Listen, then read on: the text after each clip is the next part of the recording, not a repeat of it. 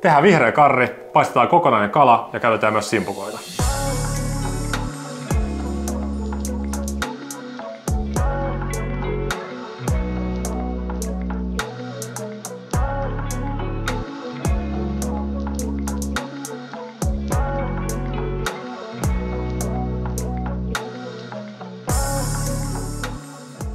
Käydään läpi raaka-aineet. Eli meiltä löytyy tosiaan siikaa ja sinisimpukoita. Vihreän karrin raaka-aineet.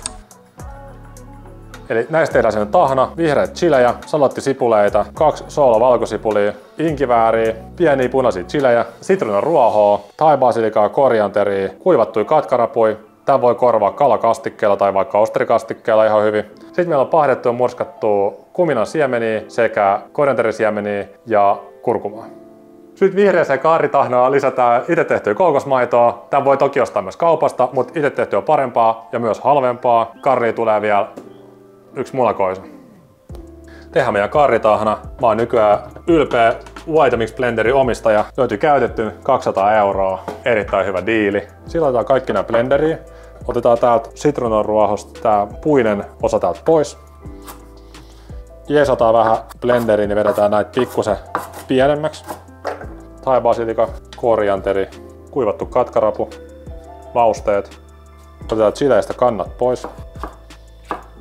Inkivääri kannattaa myös pikkusen hienontaa. Inkiväärin rakenne on sellainen, että se jää helposti sinne blenderiin pikkusen jumiin. Punaisia tulisia chilejä, valkosipuli, salottisipuli. Jotta se blendaantuu, niin otetaan myös pikkusen vettä sinne mukaan. Ja sitten blenderi laulamaan.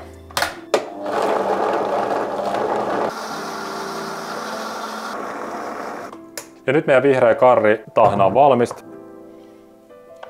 Huh, huh.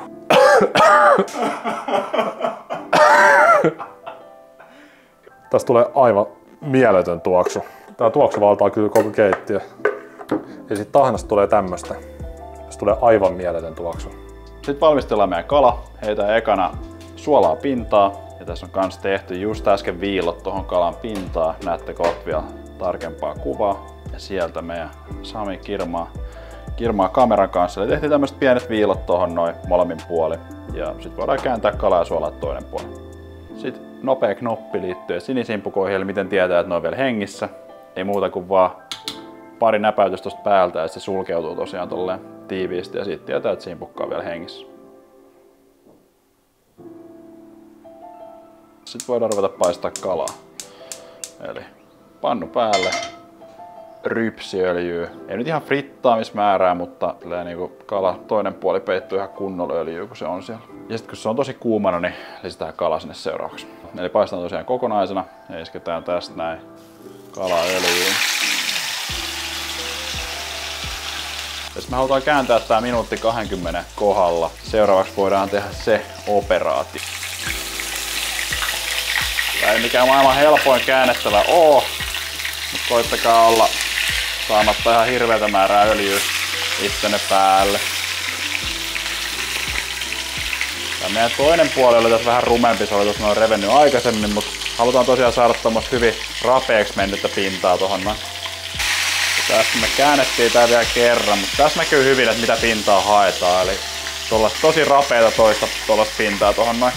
Sitten voidaan seuraavaksi siirtää vaan kala pois pannulta. Toivotaan, että saadaan se yhtenä kappaleena, mutta katsotaan miten meille käy. Ja näin. Sitten ruvetaan paistamaan meidän munakoisoja. Nyt munakoisotaka oli siinä pisteessä, että lisätään sinne tätä karritahnaa, otetaan kaksi isoa ruokalusikallista. Ja sitten kun tuota vihreät karri on lisätty, niin laitetaan kookosmaitoa.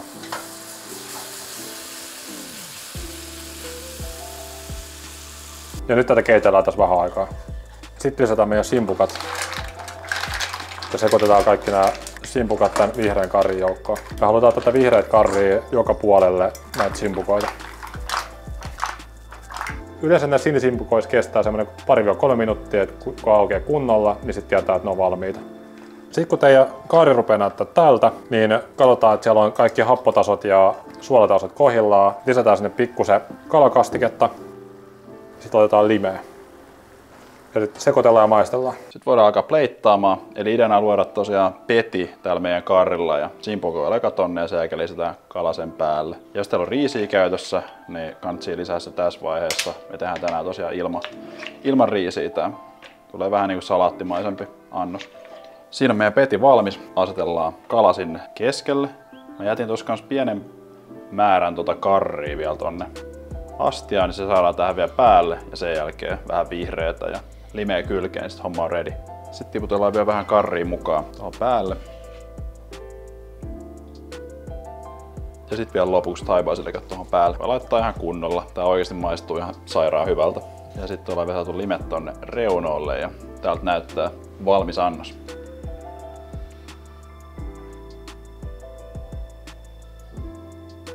Loistavaa. Ai vitsi. Näyttää erittäin hyvältä. Tota, miten sitä annosta operoidaan? Tää on pleitattu kahdella. Jep, tää on tosi romanttinen pleittaus. niin tota, ei muuta kuin basilikat tosta sivuun, niin sit sieltä löytyy upeaksi paistettu kala. Ja sit sitä otetaan, lähdetään ottaa sieltä vaan Haarukalla veitsellä, joo. joo. Jep. Haarukalla veitsellä lähdetään vaan syömään sitä. Pitää ottaa tosta muuten vielä Nopea välikuva. nopea välikuva. Instagram hereillä. You heard it first there. Puhdistetaan ne limet tohon päälle. Se kyllä voisi toimia vielä hyvin. Tosta omasta heti ensimmäisen simpukkaan. Mä lähden suoraan kalan kimppuun, mutta tota, katsotaan miten käy. Mm. Onks kova? Sairaan hyvää. Mulla ei tästä lautasta. Mä otan, mä otan tästä paperin. Joo.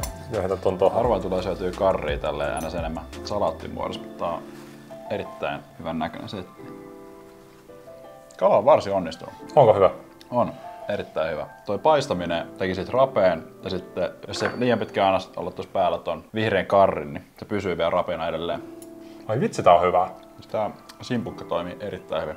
Erittäin hyvin karrinkaan. Mitä en olisi uskonut. Usein tota noin, niin tulee jotain tomaatti- tai, tai kermokastikkeet, missä on sinisimpukat, mutta mun mielestä tää on ihan sika hyvä kombo. Tuo kala on ihan sairaan hyvä.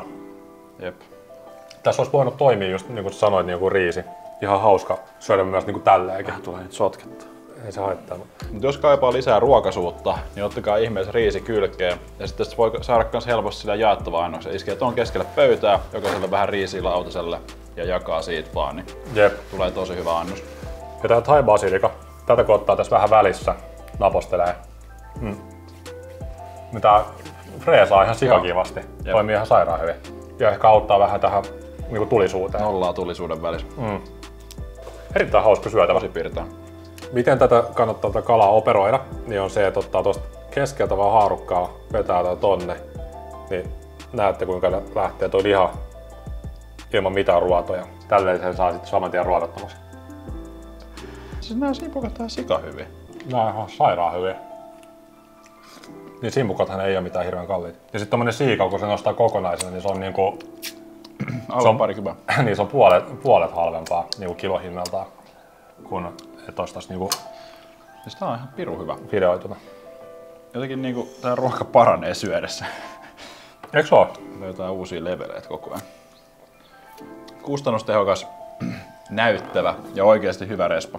Tota, suosittelen testaamaan. Ehdottomasti, ehdottomasti.